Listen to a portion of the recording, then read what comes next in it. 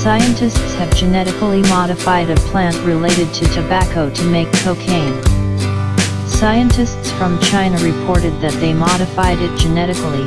A plant relative of tobacco called Nicotiana benthamiana produces cocaine in its leaves.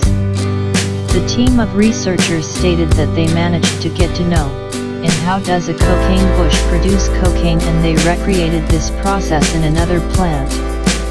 Cocaine is better known as a drug or stimulant, but it also has potential in medicine. Back in the 19th century, it was used as a remedy anesthetic, and its properties are beginning to be appreciated again.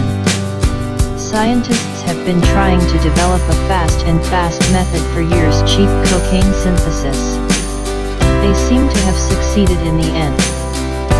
Scholars from China they claim to have determined how the common dwarf tree, also known as the shrub, was cocaine, Erythroxylum coca, produces cocaine in its leaves.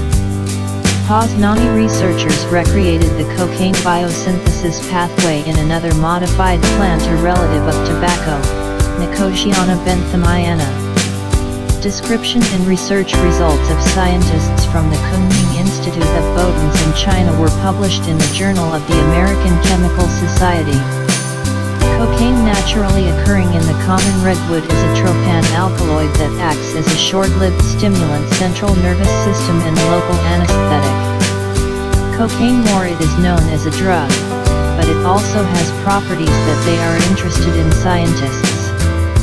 For example, in the 19th century the stimulant was successfully used as an anesthetic or to constrict blood vessels for the purpose of stop bleeding. Recently, the U.S. Food and Drug Administration FDA, approved the use of cocaine as a local anesthetic mucous membranes. Scientists have been trying to determine how for decades the cocaine bush produces cocaine. This is a complex biochemical matter and although researchers mapped most of the processes taking place in plants and escaped them the key element, how exactly the chemical precursor called MPOA is converted into cocaine. Scientists focused on MPOA because of the same precursor similar tropane alkaloid called hyoscyamine is formed.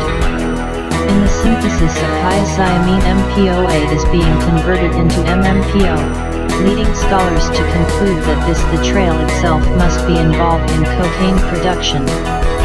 However, in new research researchers in China have found that MMPO is not involved in cocaine production. Instead, MPOA is converted to cocaine by the activity of two enzymes called ENCYP81AN15 and ENMT4. To prove this, scientists genetically modified the plant Nicotiana benthamiana to make these two enzymes. Nicotiana benthamiana it contains substances similar to MPOA, which is why it was selected for testing. Modifications led to the synthesis of cocaine in the plant's leaves. And though a relative of tobacco gave a paltry but still exciting 400 nanograms of cocaine per a milligram of dried leaves, or about 1 25th of the yield of an average plant coca, the fact that the cocaine biosynthesis pathway has been known opens up the possibility of mass production of substances in other organisms, such as E. bacteria. coli. Scientists reassure us that their breakthrough will not cause them to appear huge amounts of the drug in cities. It probably won't affect at all on the availability of the drug, because the process of genetically changing another plant or bacteria to synthesize the drug goes far beyond even the possibilities the most sophisticated drug cartels. At least that's what they think scientists. Moreover, they emphasize that their research was not aimed at development methods of producing cocaine for recreational purposes, but for applications medical.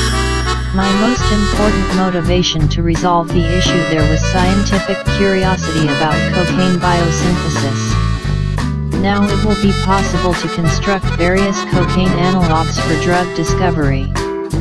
However, we do not know whether we will succeed get stimulants that will have reduced psychoactive properties said Dr. Shengxiang Huang, lead author of the study.